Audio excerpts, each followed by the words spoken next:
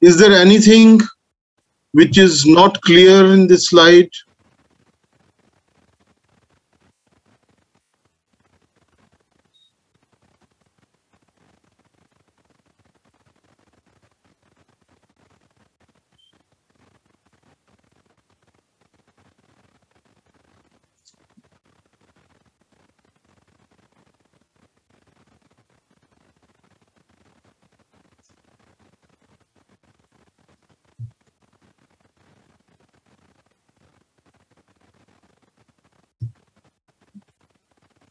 If any student has any doubt, he can ask uh, for explanation of any of these points.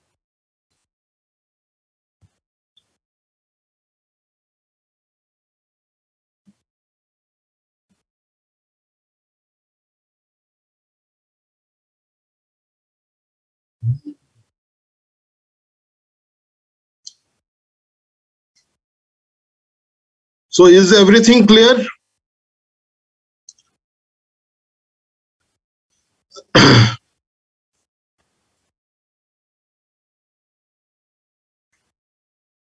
Shall we move to the next topic?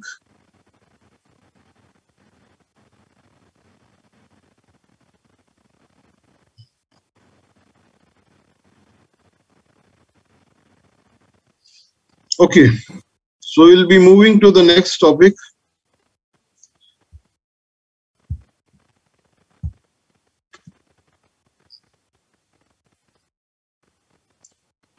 Capacity to contract. A person is incompetent to contract under the following circumstances. Number one, if that person is a minor. That means less than 18 years of age, according to Indian law. Um, according to the law to which he is subject to. So naturally in India, we are subject to the Indian law. But then suppose um, he goes to some country where the age of minority is say 17 years.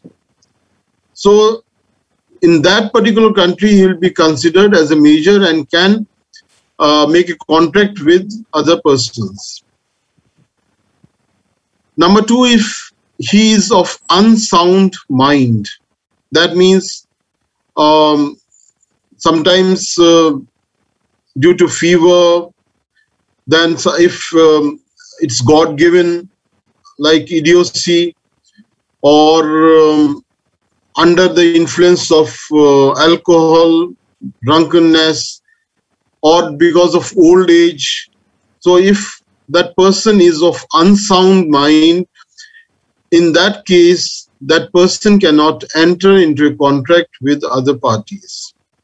And if he is disqualified from contracting by any law to which he is subject to, so under Indian laws, there are certain conditions by which Indian citizens, they are disqualified from contracting. Uh, so we'll discuss those conditions in the later slides. First of all, the minor. An agreement with a minor is absolutely void and inoperative as against him. So any agreement which is done by any person with a minor is void ab initio. That is from the very beginning, it's void and cannot translate into a contract. And um, so uh, if any person uh, makes a contract with a minor, then uh, that contract would be void.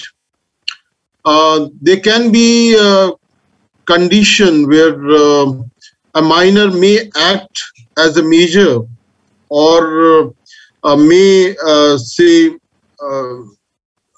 for example, he may go to a bank and um, he'll present false uh, documents or uh, his statement that is a major and uh, would apply for a loan. So in that case, the courts they decide that the minor if gets any such loan will have to return that loan to the bank. And if in case the minor purchases any uh, thing from that, then that thing has to be restored to the that particular party, that is the bank or any lender. Beneficial agreements are valid contracts. Beneficial agreements means that uh, those agreements which are beneficial for the minor, they are valid contracts. Now, although any agreement with a minor is void, but then under the guardianship, there are certain contracts that can be made. For example, the contract of uh, partnership, where all the partners, if they agree to allow a minor to join the partnership business through a guardian, then that uh, minor can be admitted to the partnership business. But that um, the guardian will sign on behalf of the minor the contract between of partnership. So on behalf of the minor, the guardian would uh, sign the contract. And then it would be beneficial to the minor. Um, that means that uh, all the profits which are generated by the partnership firm, the minor will have um, the, the, the share in the profits. But in case of liabilities of the firm, partnership business, the minor will not share the liabilities of the partnership business. So the, the law protects the interests of minors in case of any such agreements which are entered between a minor and some other party um, um, uh, on behalf I mean, of the minor, if the guardians of the minor, uh, they sign that particular contract. The same is true of uh, apprenticeship uh, um, uh, agreements where uh, the guardian of the uh, minor may sign on behalf of the minor uh, uh, this contract of apprenticeship um, under the Apprenticeship Act 1961, um, where the court would uh, allow the minor to learn the trade in certain skills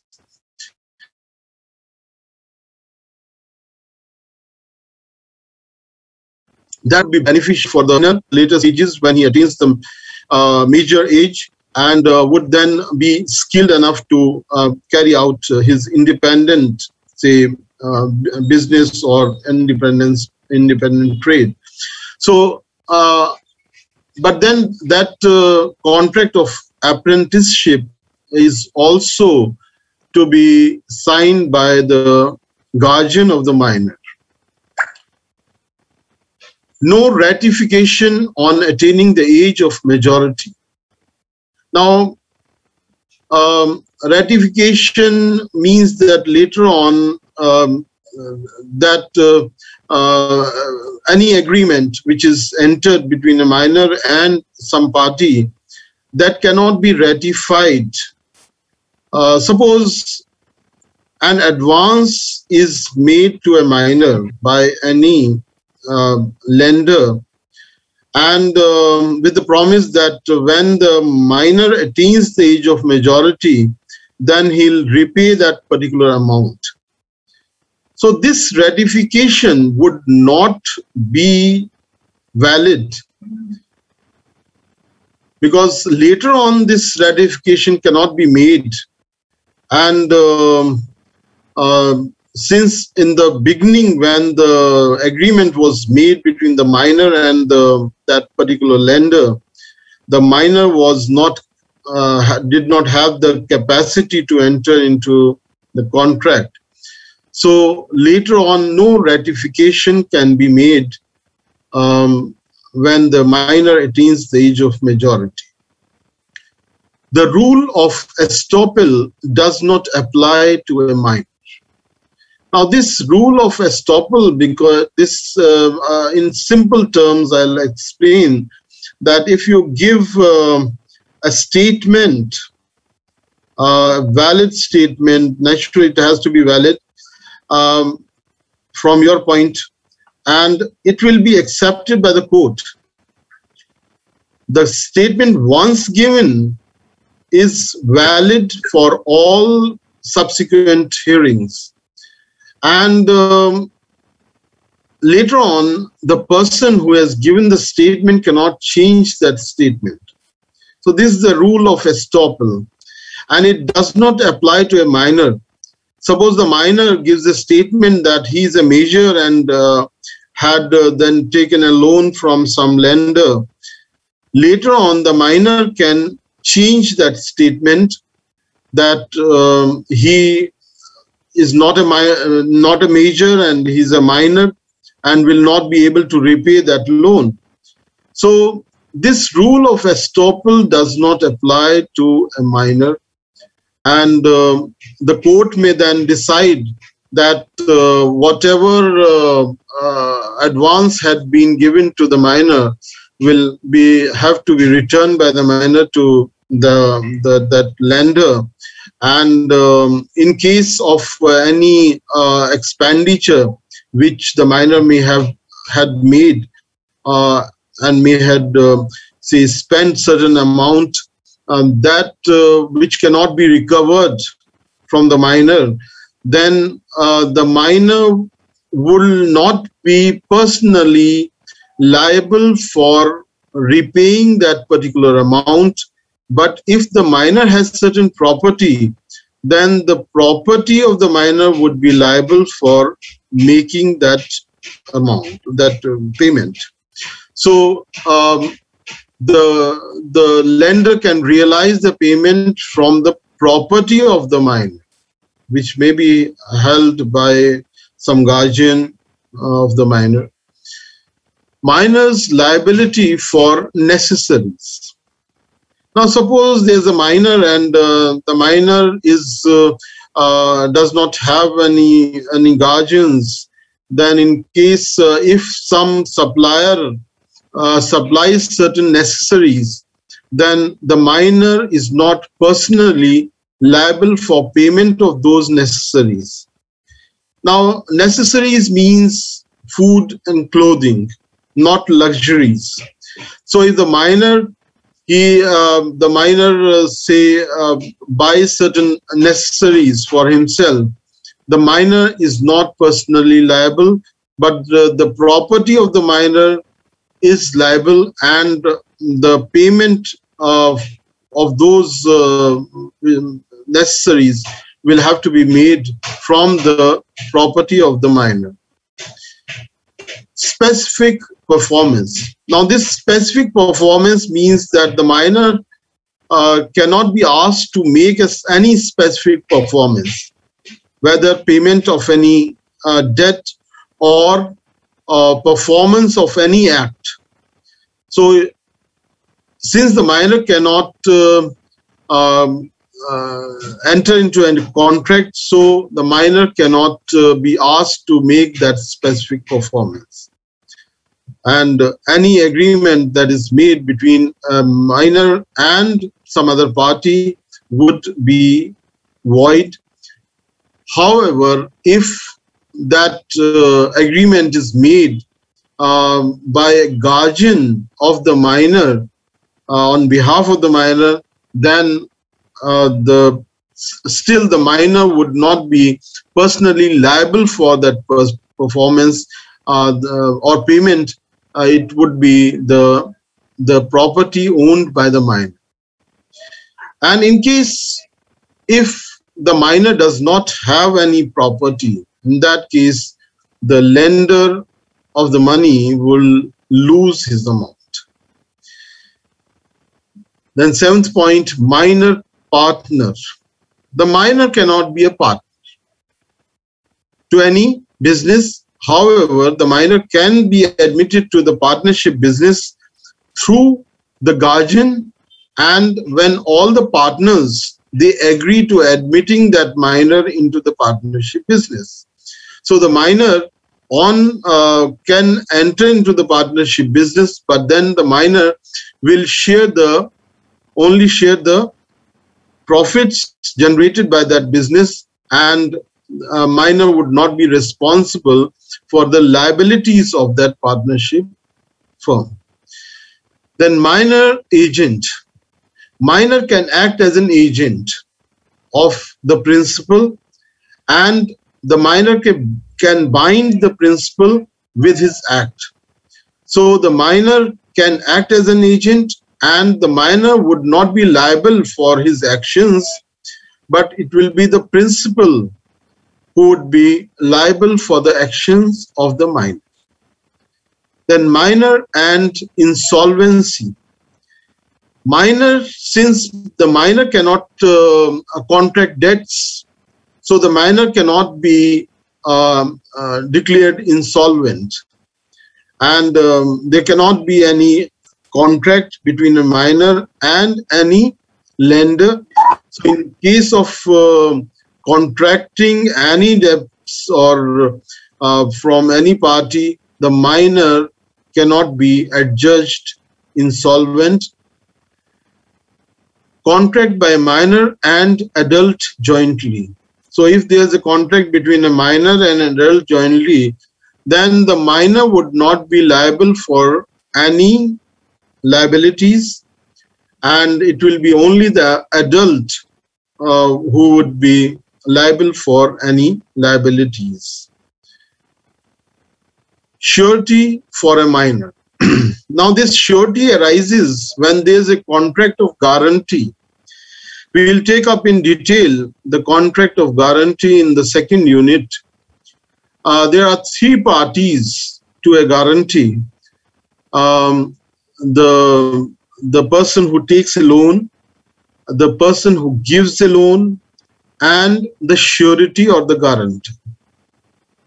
So, since the minor cannot enter into a, an, an agreement of guarantee, cannot uh, uh, get a loan from some other person or from any bank or any other party lender. So, in case, in case if um, uh, there's a contract or an agreement between um, any party who knowingly uh, gives a loan to the minor and there's a surety as well uh, from the side of the minor, uh, minor to guarantee that uh, the repayment of that amount then in that case the surety would be responsible for the payment and the minor cannot be asked to make the payment. Position of minor's parents. now, if the minor uh, takes any, say, contracts any debt or make, takes any amount from some other person, then the parents, they are not responsible for the act of the minor nobody can ask the parents to return that amount which the minor had taken.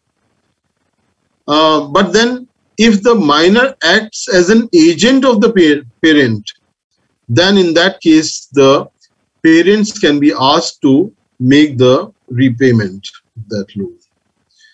Minor shareholder. now, minor cannot act as a shareholder individually but through the guardianship of someone, the minor can act as a shareholder and minor can share the profits of a firm. So the minor can be admitted to uh, to I mean to buy equity shares, but under the guardianship of some major person.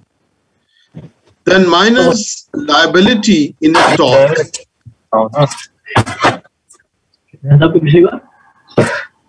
uh, Aman, please mute your mic.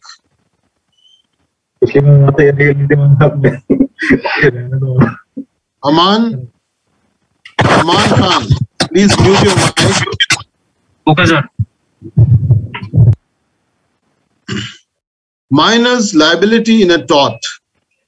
Now, if there's a tort because of a contract, then the minor is not liable for that tort. So if there's any tort that occurs because of the contract between a minor and some other party, then in that case, the minor is not liable for that tort. But if the minor does any tort outside the any agreement or any uh, contract, then the minor would be liable for that tort. Yes, uh, anything that uh, is not clear in this slide, you can uh, uh, seek your queries.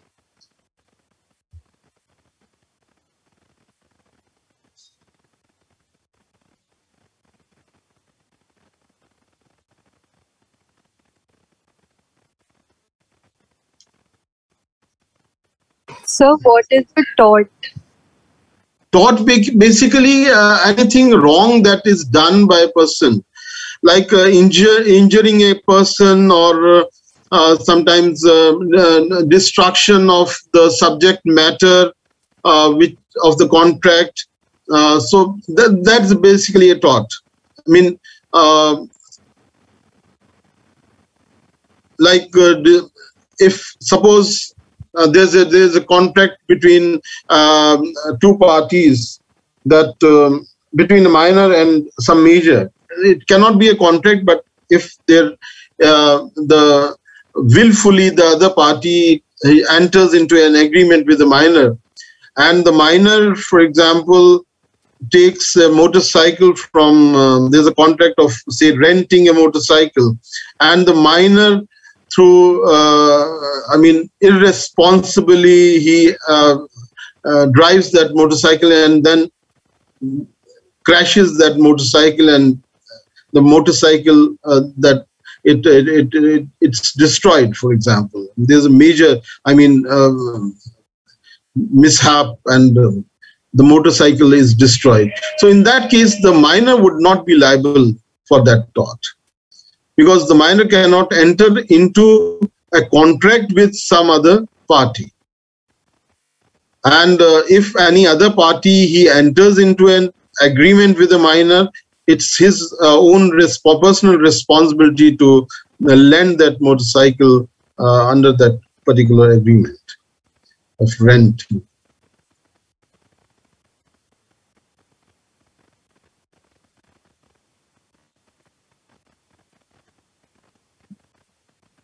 Just anything else?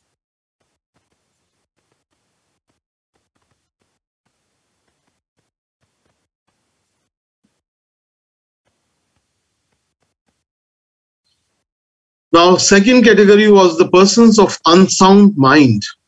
Now, unsoundness of mind may arise from idiocy, which is God-given. Naturally, uh, certain people, they uh, their brains are not developed from the very childhood. So naturally, those persons, even if they attain a major age of majority, cannot enter into contract. Second is lunacy or insanity. Lunacy may arise because um, um, there may be certain conditions um, due to illness where the there's certain uh, certain um, uh, certain part of the brain may be affected as a result of uh, any disease. And um, sometimes it happens that there are certain periods where a person acts normal and at times he doesn't act normal or sane. And during the those periods when he is uh, say uh, insane he cannot enter into contract. But uh, in those periods where he is um, sane, uh, he's normal, he can enter into a contract.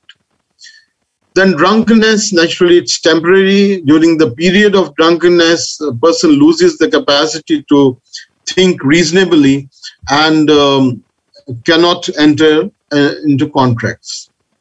Then, under hypnotism, naturally, under induced uh, uh, hypnotism, the person cannot um, act reasonably and cannot think reasonably and cannot enter into contract.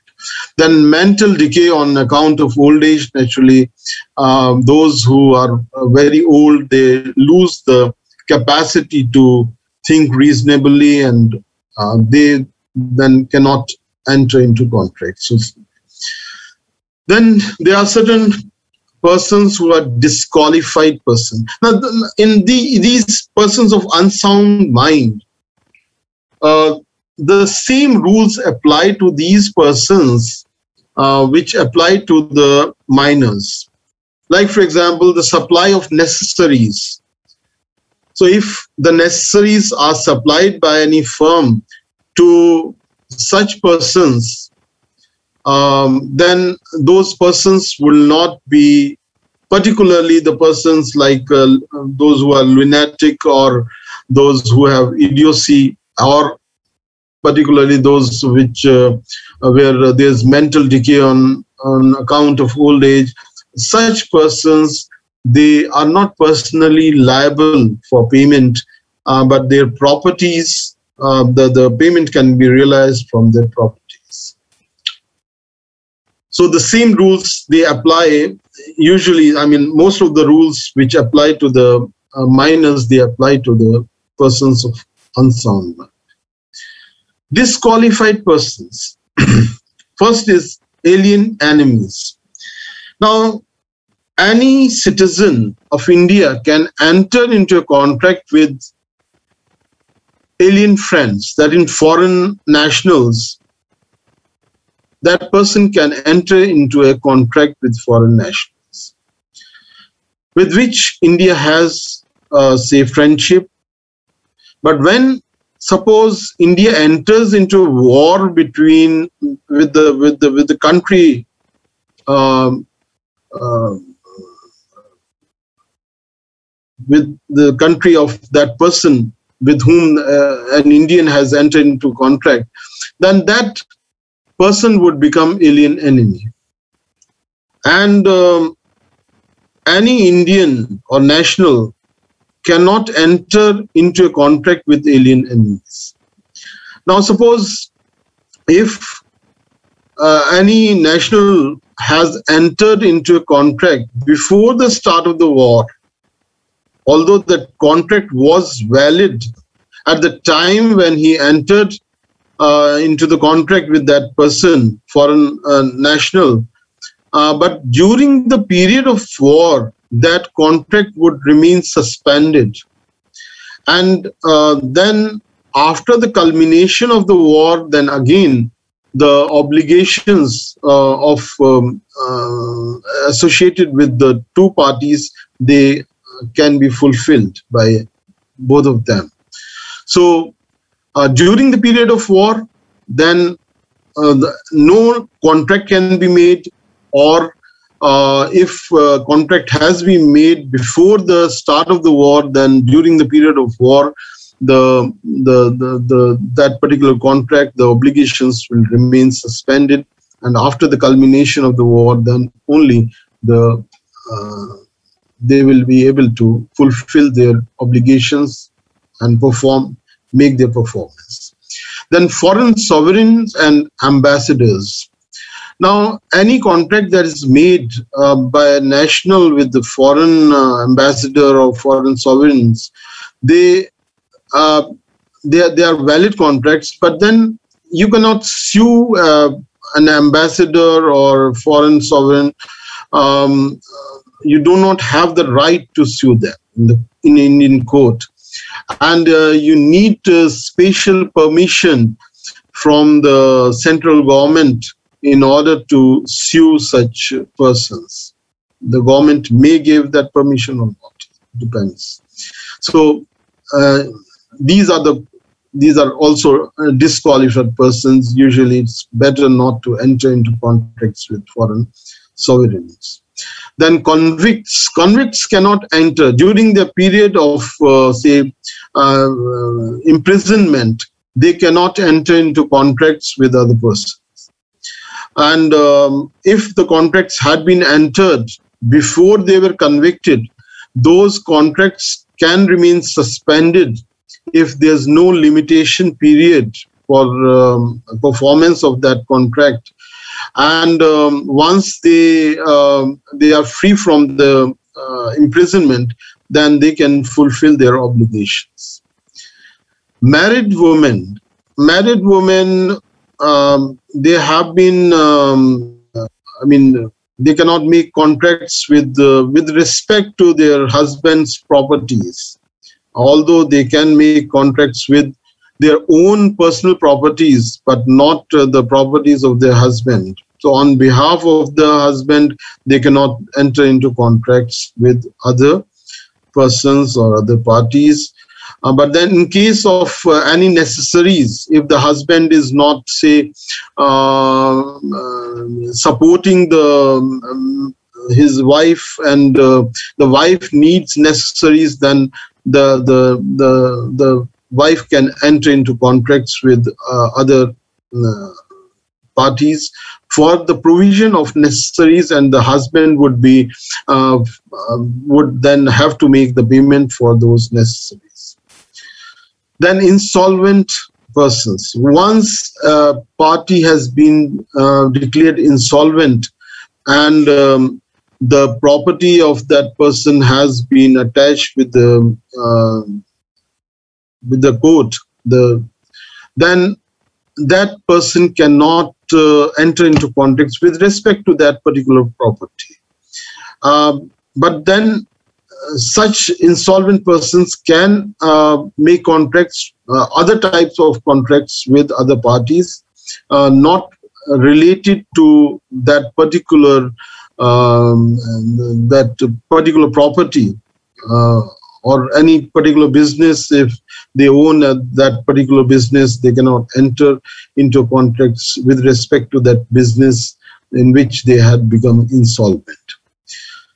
Then joint stock company and corporation incorporated under special act. So companies which are incorporated under the companies act for example or any other such act um, like partnership business or any other business they such companies they uh, they are restricted with respect to the type of contracts that they can enter into.